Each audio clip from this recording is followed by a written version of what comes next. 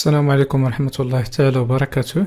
أعزائي تلاميذ السنة الثانية إعدادي مرحبا بكم. donc غادي نشوفو في هذا الفيديو الدرس ديال التوالد عند الإنسان. donc غادي نقسموه إلى مجموعة من الأجزاء.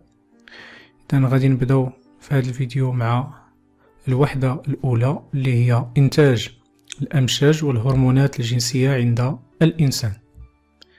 إذا غادي نشوفو يعني أمشاج فين كيتنتجو عند الإنسان وكذلك ما يسمى بالهرمونات الجنسية donc المكان ديال الإنتاج ديالهم.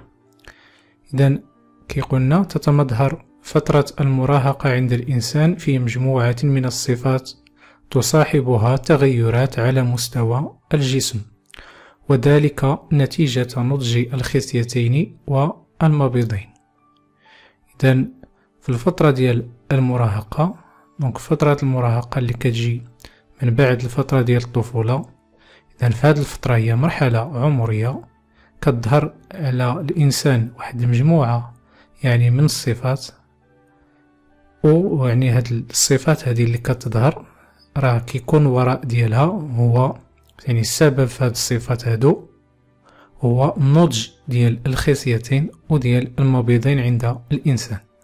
إذا ملي كينضجو كينضجو الخصيتين والمبيضين كيظهر اللي في الفترة ديال المراهقة كيظهروا واحد المجموعة من الصفات. إذا غنشوفو في ماذا تتمثل وظيفة الخصيتين والمبيضين أثناء البلوغ. يعني أشنا هو الدور ديال الخصيتين وديال المبيضين في هذه المرحلة يعني ديال المراهقة مرحلة ديال المراهقة اللي كتعرف كذلك يعني البلوغ. غادي نشوفو شنو هما البلوغ وشنو هما العلامات ديال البلوغ. إذا البلوغ كيكون في الفترة ديال المراهقة غنبداو بالنشاط الأول أتعرف مظاهر البلوغ عند الإنسان.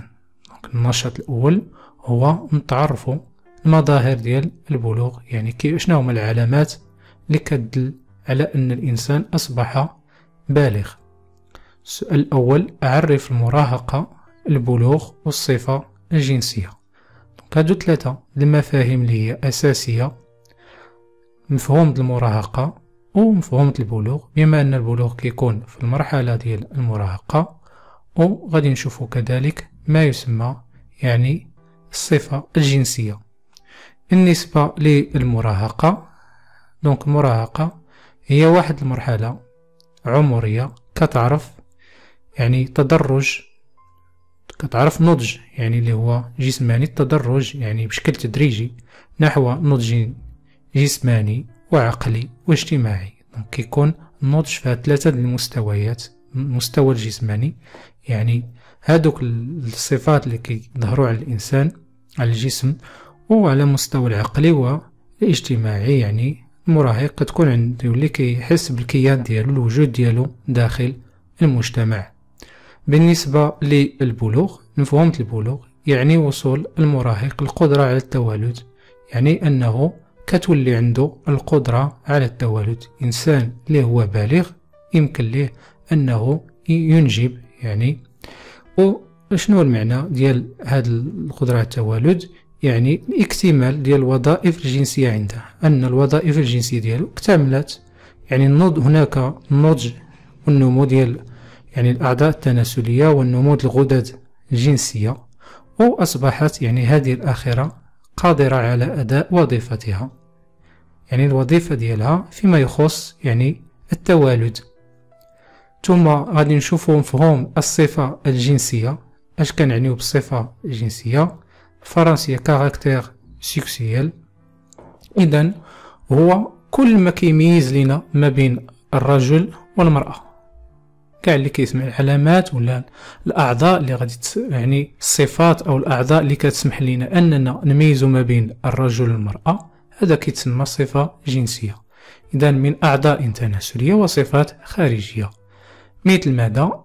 مثل الشعر الصوت العضلات التدين وهادشي غنشوفوه بالتفصيل بالنسبة للسؤال الثاني اذكر بعض مظاهر البلوغ التي تميز الذكر والأنثى. هاد الصفات اللي دابا تكلمنا عليهم هنايا غادي نهضروا عليهم كمظاهر لأنهم كيتعتبروا من المظاهر.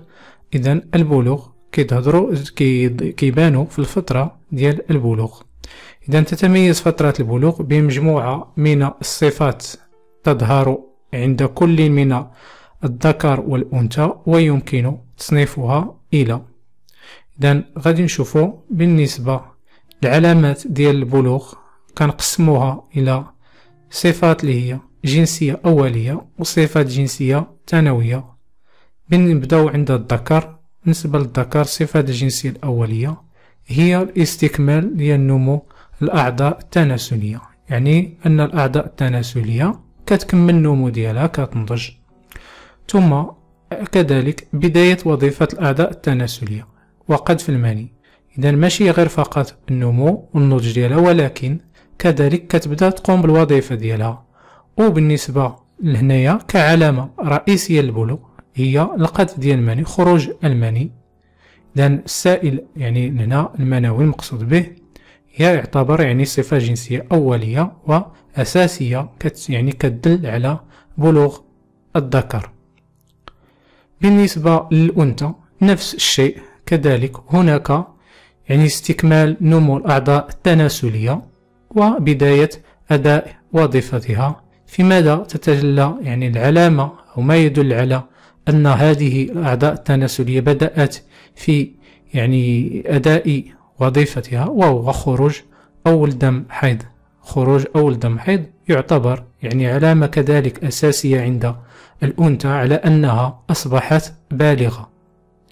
هناك كذلك صفات جنسية أخرى ثانوية تظهر نتيجة يعني ظهور هذه الصفات الجنسية الأولية. فمثلا عند الذكر هناك نمو الشعر على العانة والإبطين والذقن والشارب donc كلها مناطق يعني تعرف نمو الشعر على مستواها وهي يعني قد نجد بعض منها يعني مشترك ما بين الذكر والأنثى كمثلا شعر العانة والإبطين.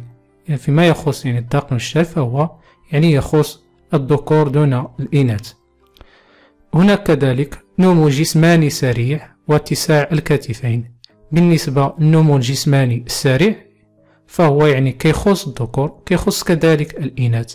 فيما يعني هنايا عندنا اتساع الكتفين عند الذكر وكذلك بالنسبة للأنثى هي تعرف يعني هنا كصفة ثانوية اتساع الحوض.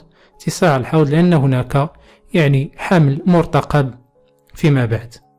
دونك هذه المنطقة منطقة الحوض هي منطقة اللي كيتواجد فيها يعني الجنين أثناء مرحلة ديال الحمل.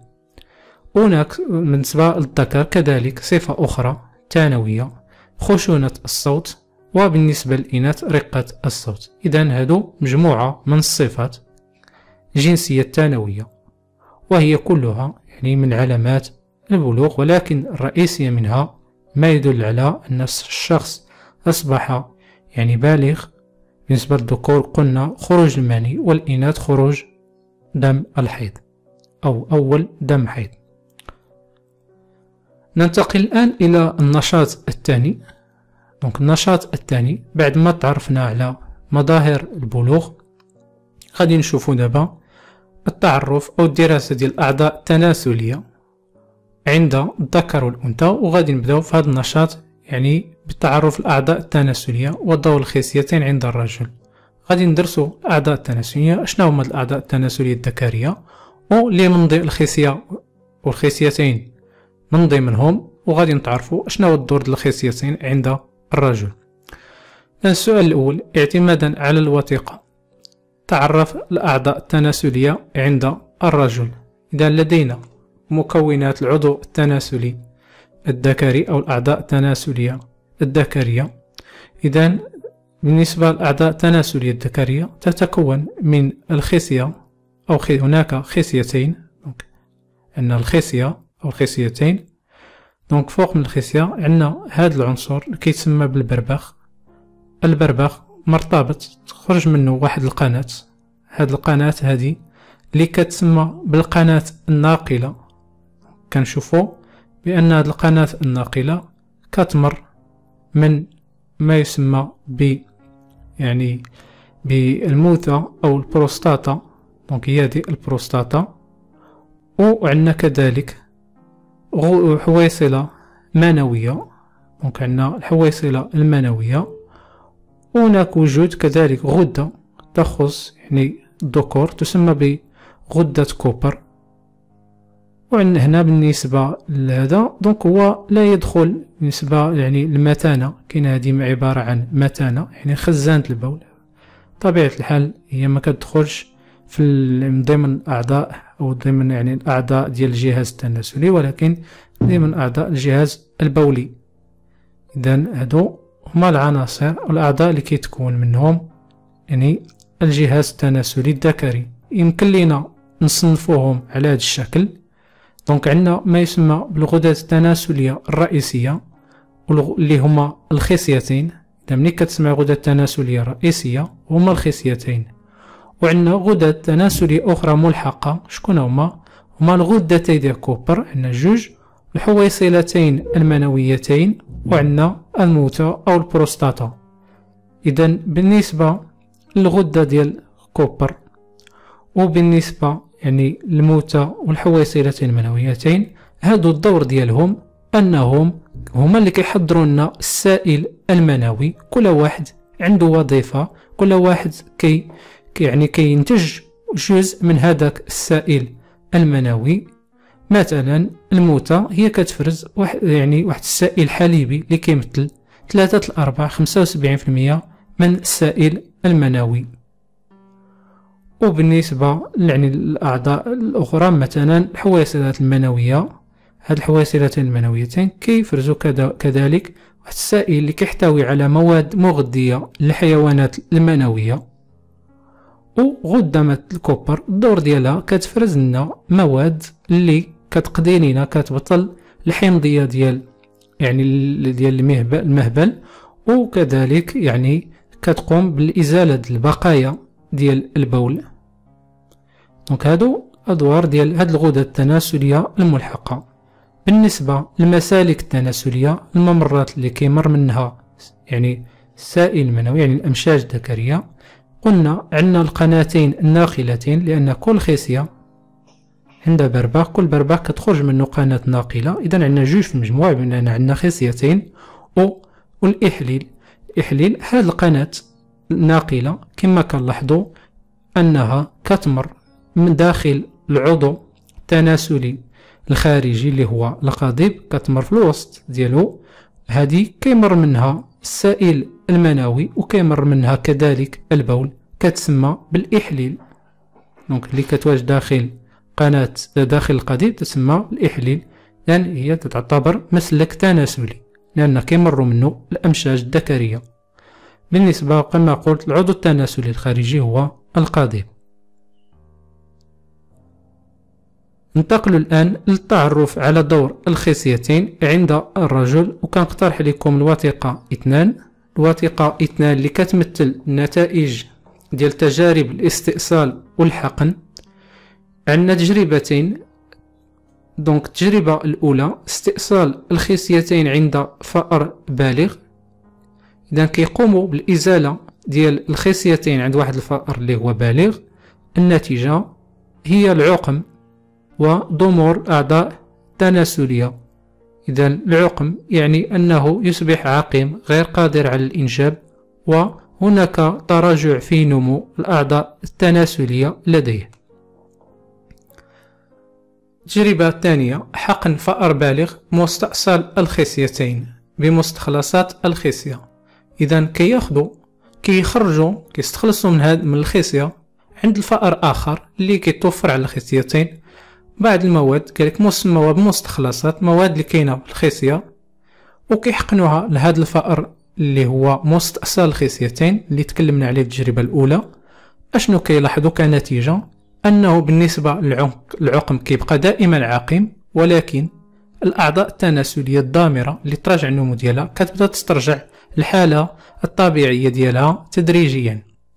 إذا من خلال النتائج ديال هاد التجارب كيتبين لنا بأن الخصيتين كيلعبوا دور في الإنجاب. إذا أكيد أنهم على مستواهم كيتم الإنتاج ديال الأمشاج الذكرية يعني الحيوانات المنوية لأن الإزالة ديالهم كتؤدي إلى العقم. كذلك هذه الماء هناك مواد تنتج على مستوى الخصية وهي مسؤولة يعني عن نمو الأعضاء. التناسلية ونضجها إذا الخصيتين هما المسؤولتين عن إنتاج الأمشاج الذكرية يعني الحيوانات المنوية ونمو الأعضاء التناسلية. تنتج الخصيتين هرمونات جنسية ذكرية. هاد المستخلصات الخصية هي اللي كتسمى بالهرمونات الجنسية الذكرية. إذا الخصية عندها دور مزدوج. أشنا هو؟ هو الإنتاج الأمشاج الذكرية وكذلك ديال الهرمونات الجنسية اللي غادي نسميهم في الفقرة الموالية. ثالثا تعرف العناصر المسؤولة عن إنتاج الأمشاج الذكرية والهرمونات الجنسية داخل الخصية عند الرجل اعتمادا على الوثيقة ثلاثة. عرفنا بأن الخصية هي المكان لإنتاج الأمشاج الذكرية والهرمونات الجنسية. دابا بقى لنا غير نعرفو مناش كتكون الخصية وإن أشنو يعني مكونات اللي كاين البنية ديالها أشنو علاش كتحتوي؟ شكون بالضبط داخل الخصية اللي كينتج هاد المواد هاد العناصر اللي هما الأمشاج الذكرية والهرمونات الجنسية؟ الملاحظة المجهرية على مستوى يعني الخصية بينات لنا بأن الخصية كتكون من مجموعة من الأنابيب المنوية. إذا عندنا هنايا ملاحظة مجهرية على مستوى الأنبوب المنوي. إذا أشنو كنشوفو؟ هذا عندنا ثلاثة الأنابيب منوية. هذا عبارة عن أنبوب منوي. هذا جزء من أنبوب آخر نفس هذا الشكل وهنا جزء آخر وعندنا عدد كبير منهم غير فقط هذا المقطع يعني شنو كيبين لنا إذا داخل الخصية كاينين عندنا ما يسمى بالأنابيب المنوية. إلا خدينا واحد الأنبوب وشفنا شنو كاين في الداخل ديالو كنلقاوه بأنه كيتكون من خلية منسالية وبين أبي أمشاج يعني من أمشاج ذكرية إذا الأمشاج الذكرية اللي تكلمنا عليهم قبيلة قلنا كيتنتجوا على مستوى الخصية إذا هما كيتنتجوا داخل الأنابيب المنوية اللي كاينة بالخصية. انطلاقا من اش انطلاقا من خلية منسالية هاد الخلية المنسالية كتخضع لمجموعة من الانقسامات وكتعطينا في النهاية أمشاج ذكرية يعني حيوانات منوية ما بين هاد الأنابيب المنوية ما بين أنبوب وأنبوب كنلقاو مجموعة من الخلايا. كما كتشوفوا معايا كيتسموا بالخلايا البيفورجية. هاد الخلايا البيفورجية الدور ديالها هي أنها كتنتج الهرمونات الجنسية اللي كتسمى بالهرمونات هرمون الذكورة تستوستيرون. إذا كيتسمى بالتستوستيرون هو الهرمون الجنسي الذكري.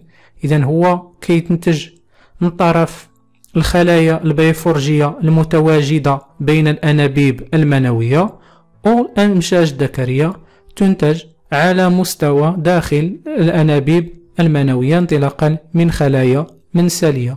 كما ننسى كذلك وجود عروق دموية. إذا خلاصة تنتج الأمشاج الذكرية داخل الأنابيب المنوية دون توقف ابتداء من البلوغ. إذا من البلوغ كيبدأ عندنا الإنتاج الأمشاج الذكرية لأن الخصية كما قلنا كتستكمل النمو ديالها وكتبدأ في الأداء الوظيفة ديالها اللي هي الإنتاج الأمشاج الذكرية وكذلك الهرمونات الجنسية.